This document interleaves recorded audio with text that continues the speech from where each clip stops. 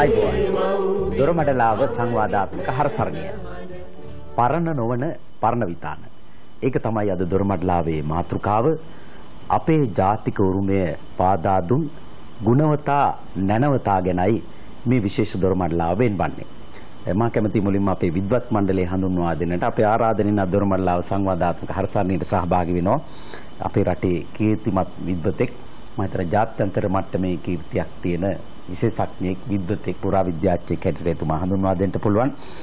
ප්‍රංශේ පැරිසියේ සෝබෝන් විශ්වවිද්‍යාලයේ හිටපු මහාචාර්ය ඇමරිකා එක්සත් ජනපදයේ බර්ක්ලි විශ්වවිද්‍යාලයේ මධ්‍යම ආසියාව හා දකුණු ආසියාවේ පුරාවිද්‍යාව හා කලා ඉතිහාසය පිළිබඳ මහාචාර්යවරයෙක් හැටියට දැනට කටයුතු කරන මහාචාර්ය ඔස්මන් බෝපිආරච්චි මහත්මයා ඉතාමත්ම ගෞරවණීයව පිළිගන්නවා දොරමඩලාවට එදා ඉතාමත්ම ගෞරවණීයව පිළිගන්නවා.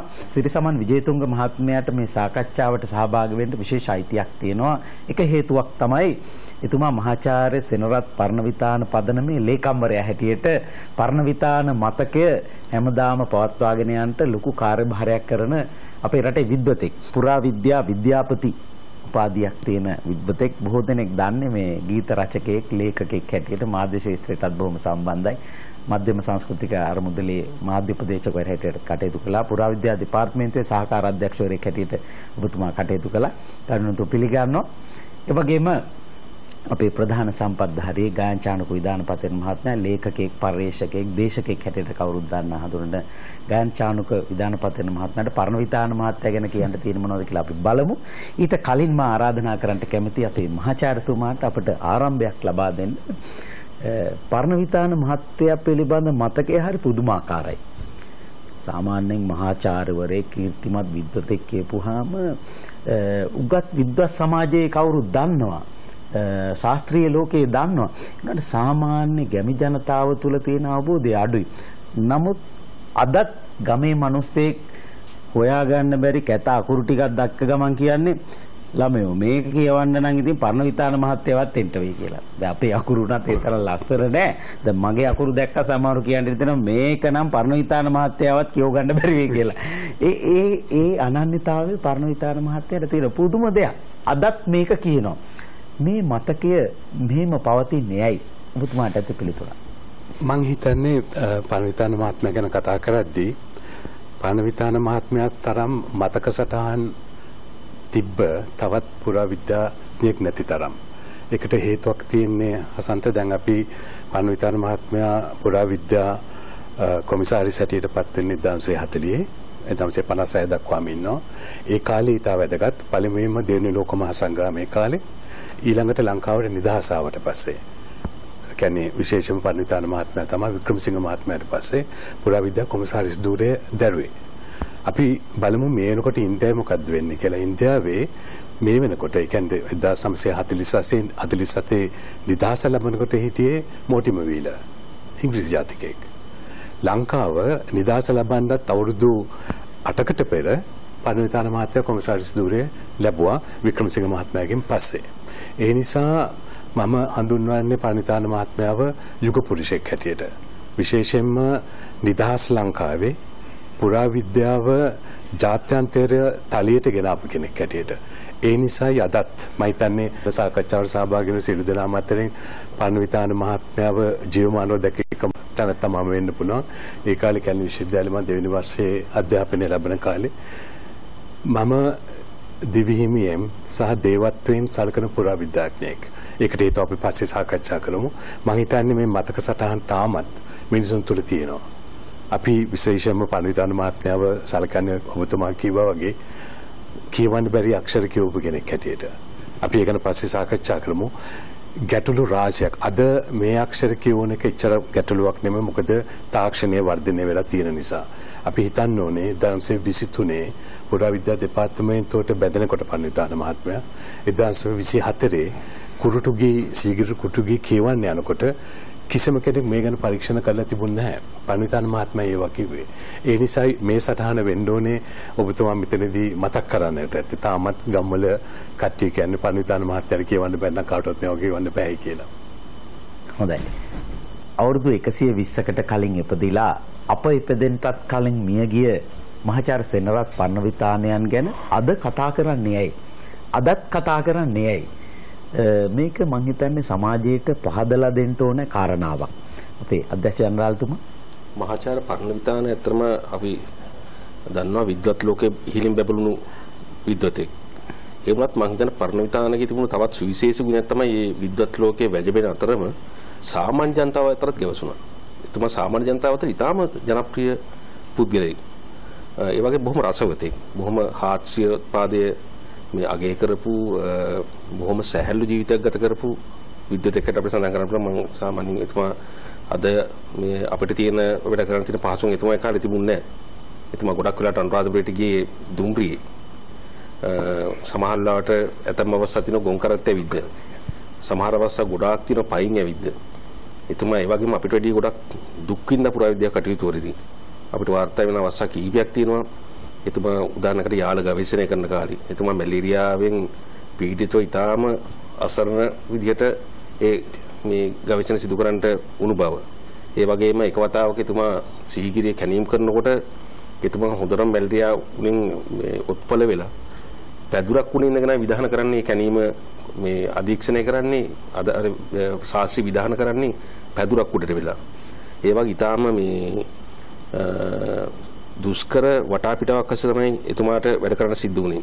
ඒ වගේම එතුමා ශාස්ත්‍රීය පැත්තට මුළු මනින්ම නැඹුරුණු විද්වතෙක්. එතුමාගේ වෙන මම හිතන පෞද්ගලික ජීවිතයක් විතරම් පෞද්ගලික ජීවිතයක් කියලා එකක් තිබුණේ නැහැ. ඇවිදිනකොට වේවා කනකොට වේවා තමන්ගේ රාජකාරී පුටු වෙනකොට වෙන වේවා ශේෂීනකොට වේවා එතුමාට මේ ශාස්ත්‍රීය ලෝකෙන් පිට දෙයක් තිබුණේ නැහැ කියන උදාහරණ ගණනාවක් අපිට දෙන්න පුළුවන්. එතුමා සමහරවිට කියන කාරණේ තමයි එතුමා නිකන් පාරක ඇවිදගෙන යනකොට අපේ ස්ථානයේ පුරා දිස්සානේ මැද්දෙන් හිටපු ගමන් එක තැන හිටගෙන එතුමාට මොකක් හරි ආපු අදහසක් බුඩ හෝ බිම්බලන කල්පනා කරනවා කියන.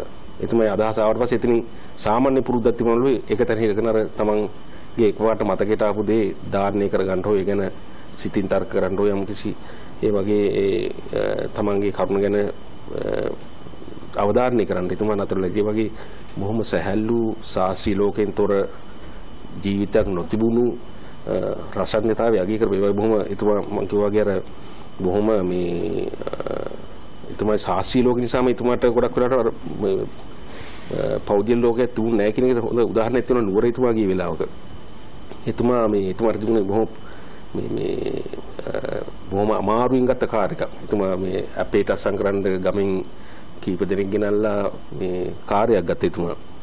මේ කාර් එකේ නුවරට ගිහිල්ලා නුවර ගිය වෙලාවක පොත් අයක් ගන්න කඩේකට ගිහිල්ලා එනකොට මේ ඇවිල්ලා කාර් එකේ ඉඳගත්තා. මේ රියඳුරු මහත්තයා ඇවිත් බලනකොට කාර් එකේ පරිණිතාන නැහැ.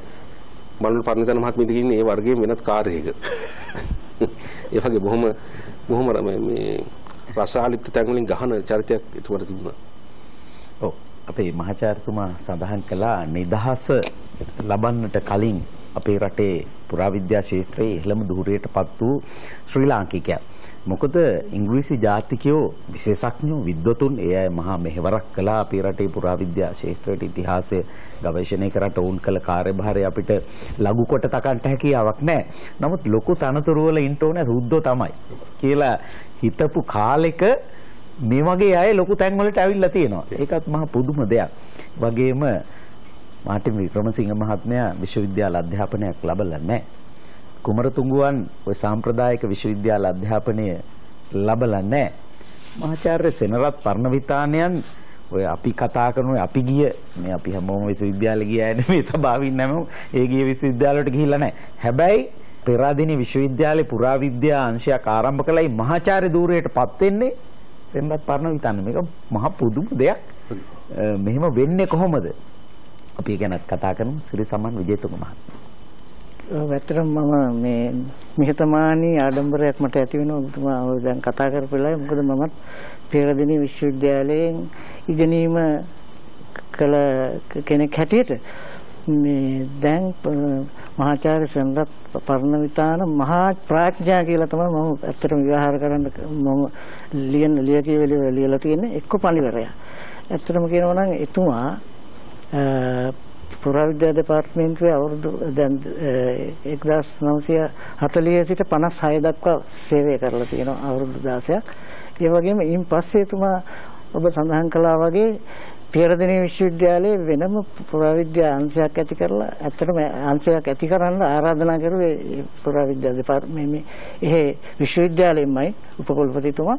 ඉතින් මම මේ කියන්න යන්නේ මොකද මේ ශාස්ත්‍රීය ලෝකයේ ඇත්තටම කියනවා නම් 20 වෙනි සියවසේදී විද්වතුන් තුන්දෙනෙක් සඳහන් කරන්න පුළුවන් ලෝකෙට අපේ උරුමය ගැන ගියේ. එක්කෙනෙක් තමයි ආචාර්ය ආනන්ද කුමාරස්වාමී. අනිත් එක්කෙනා ආචාර්ය පී.ඊ.පී. දරණීගල මහතා. ඒ අනිත් අපේ මේ කතානායකවරයා තමයි මොකද මහාචාර්ය සෙන්රත් පරණවිතාන මහතා. අර මතකය ගැන මට පුළුවන් කතාවක් කියන්න මොකද පිපිට පළාතක ඉඳලා ඉවරලා ටෙලිෆෝන් කෝල් එකක් දීලා අහනවලු මේ මේ අහවල් පොතේ මේ පිටුව පෙරලන්න දැන් කියලා. පුස්තකාලය අධිපති පෙරලනවා. පෙරලපුවම ඒ පිටුව කියවනවා එහෙ ඉඳලා. ඒ වගේ විශාල මතකයක් තිබුණා. මේ මතකය ගැන කියනකොට මේ මට ලස්සන කතාවක් මතක් වෙනවා. පාසල් වියේ පාසල් වියේදී පිරිවෙනකට යනකොට පොත් ටිකක් අරගෙන පිරිවෙනට යනකොට මේ පාඩම් කර කර යනකොට වක්කඩක් ළඟදී වක්කඩේ වැටිලා. ඊට පස්සේ නායක හමුදුරුව බලාගෙන ඉඳලා තියෙනවා පිරි මේ පිරිවෙනේ මොකද මේ ළමයා නැත්තේ කියලා. ඊට පස්සේ අහුවලු ඇයි ඇයි ඔය ළමයා මොකද මට නෑ නායක හමුදුරුවනේ මම මේ මේ ශ්ලෝකයක් පාඩම් කර කර ආවා ඒකින්දයි මේ වැටුනේ කියලා. ඊට පස්සේ දැන් ඒක කතාවකට ගිහිල්ලා තියෙනවලු මේ ප්‍රදේශේ පර්ණ විතාන දරුවා අර වක්කඩේ වැටුණා වගේ කියලා. මොකද ඒක නිකන් ආප්තයක් විදිහට. ඉතින් ඒ පුංචි කාලේ ඉඳලම එතුමා ඇත්තටම කියනවා නම් විශාල මේ මං හිතන්නේ අපේ දරු පරපුරට ආදර්ශයක් එතුමා පාලි සිංහල සංස්කෘත ඉගෙන ගත්තා. ඒ වගේම බොනස්ටා විද්‍යාලයෙන් ඉංග්‍රීසි අධ්‍යාපනය ලැබුවා. ඉතින් මේ එතුමාගේ ඒ ශාස්ත්‍රීය පරිසරය තමයි අනාගතය සඳහා යම්කිසි පදනමක් දැම්මේ. හොඳයි. ගායන චානුකුමාර විද්වත් මණ්ඩලයෙන් අවසරයි හසන්ත මහත්තයා සෙනරත් පරණ විතාන සූරීන් ගැන කතා කරනවා නම් අපේ දැන් පුරාවිද්‍යා අධ්‍යක්ෂක ජනරල්තුමාගේ නමයි තියෙනවා ඒ නමේ කොටසක් සෙනරත්. ඉතින් එතනත් විශේෂත්වයක් අපට පේනවා. ඉතින් අද මේ මාතෘකාව වෙනදට අපි යොදා ගන්න මාතෘකාවන්ට වඩා හුඟක් වෙනස් විශේෂත්වයක් තියෙන මාතෘකාවක්. ඇත්තටම මේක කළගුණ සැලකිල්ලක් කරන්නේ. හසන්ත මහත්මයා මම මේක පොඩ්ඩක් වෙන පැත්තකින් පටන් ගන්නම්. දැන් බලන්න බොහෝ මිනිස්සු ගත්තාම ගුණවත්කම තියෙන අය ඉන්නවා උගත්කමක් නැහැ. සමහරක් ඇත්තෝ ඉන්නවා උගත්කම උපරිමට තියෙනවා ගුණවත්කම අංශුවක්වත් නැහැ. ගුණයයි උගත්කමයි දෙක එකට එකතු වෙච්ච අය ලෝකේ හරි දුර්ලභයි. මෙන්න මේ ගුණවත්කමෙත් උගත්කමෙත් ප්‍රතිමූර්තියක් තමයි සෙනරත් පරණ විතාන සූරීන්. අසිරිමත් චරිතයක් බෝධිසත්ව ගුණ තිබුණා. අපි ඒව තමයි මතු කරලා ගන්න ඕනේ. අනික හසන්ත මහත්මයා මෙතුමා මේ කුඩා කාලයේදී පන්සල නිතර ඇසුරු කළා. දැන් බලන්න එතුමට ඉගැන්වුවේ කවුද කියලා පොඩි කාලේ. අත් අකුරු කියෙව්වේ කවුද කියලා. මුල් අකුරු කියෙව්වේ කවුද කියලා. යටගල රජමහා විහාරයේ වැඩ සිටපු මේ නායක හාමුදුරුව රතන ජෝති ගුණරත්නාභිධාන නායක ස්වාමීන් වහන්සේ එතුමට අකුරු කිව්වේ. එතුමා වෘෂභ ලග්නේ සිංහ නවංශකේ.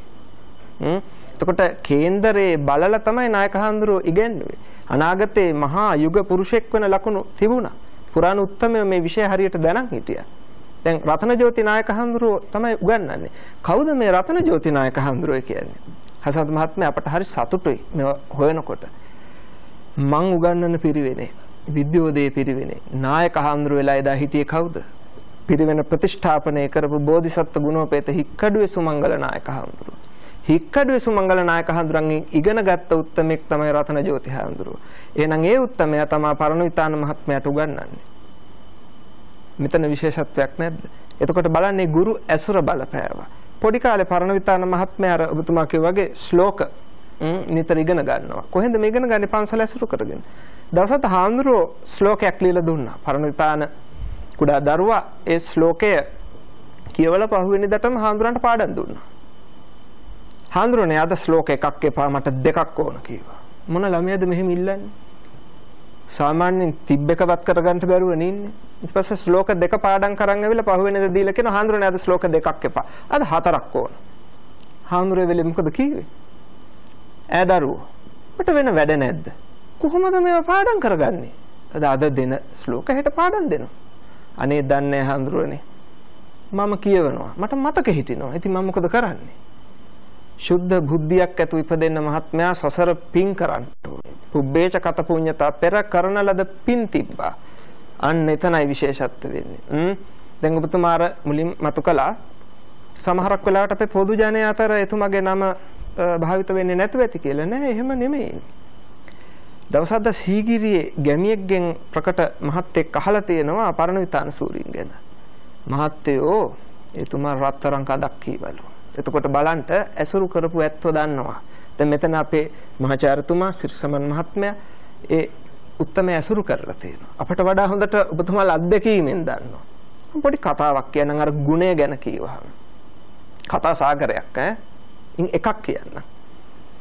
දවසක්ද අපේ පුරාවිද්‍යා කොමසාරිස්තුමා සෙනරත් පරණවිතාන සූරීන් අනුරාධපුරේ ඉඳන් කිලෝමීටර් 30ක් විතර දුර ගමන් කරලා තියෙනවා ඒ ඩ්‍රයිවර් මහත්තයත් එක්ක කොළඹ පැත්තට. එනකොට වාහනේ දෝෂයක් ඇවිල්ලා අන්තිමේදී වාහනේ හදන්න ඩ්‍රයිවරුන් එහෙ බැහැලා ඉන්නකොට එතුමා ඩිකිය බලලා තියෙනවා ඩිකිය කරවල කොටයක් තිබිලා තියෙනවා.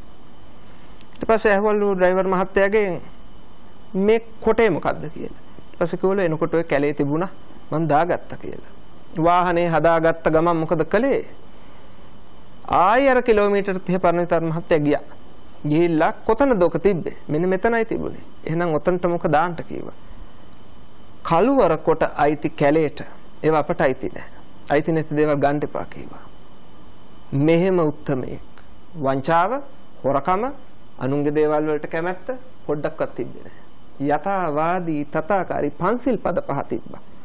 අපේ මහත්තයාට මතක ඇති අර සිසිලියා අක්කා එතුමගේ. හ්ම් දවසක්ද අනුරාධපුර සුද්ධ නගරයේ සිද්ධාස්ථාන වඳින්ට ආපු වෙලේ නතර වුණේ මල්ලි ඉන්න බංගලාවේ. පන්නවිතාන සූරීන් දවල්ට ආවා කිසියම් හදිසි කටයුත්තකට එනකොට අක්කා දොඩම් වීදුරුවක් හදලා තිබ්බා. අක්කේ දොඩම් ගත්තේ මාකට් එකෙන්ද?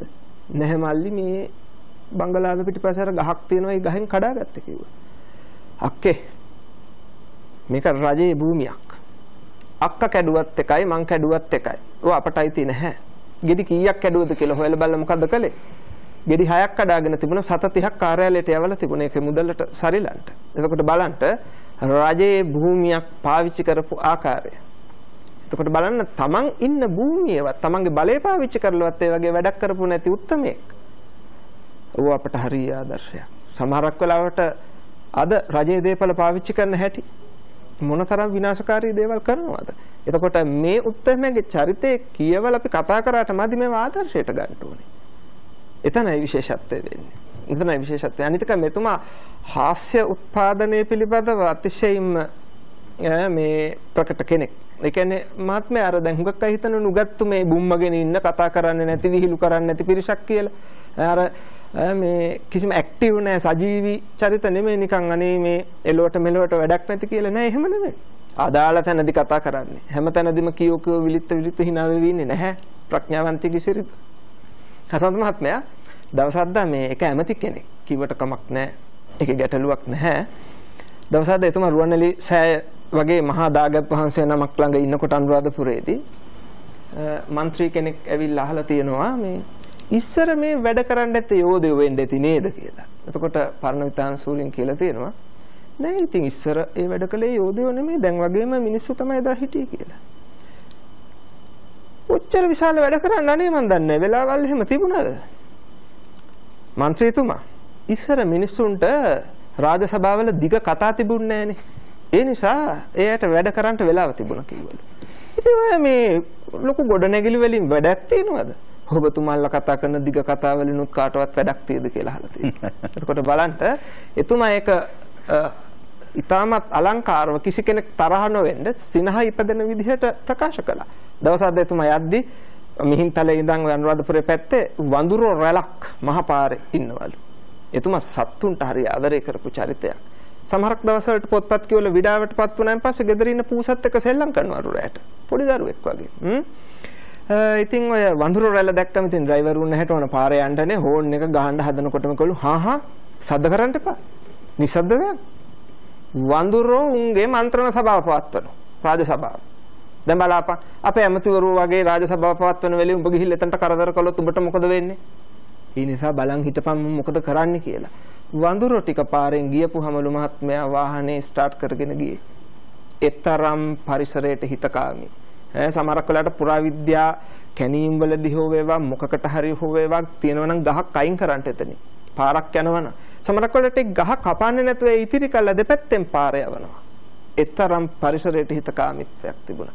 මේ වගේ රසවත් කතා ප්‍රමාණව තියෙනවා අපි ඉදිරි වටවලදී සාකච්ඡා කරමු. පරණ නොවන පරණ විතාන. අපේ ජාතියේ උරුමය පාදා දුන් ගුණවතා නැනවතා ගැනයි අද දොරමඩලාවෙන් කතා කරන්නේ. මට අවසර දෙන්න පාලක මැදිරියට යන්න අනුග්‍රහක බෞතුන්ගේ පණිවිඩ කිහිපයක් තියෙනවා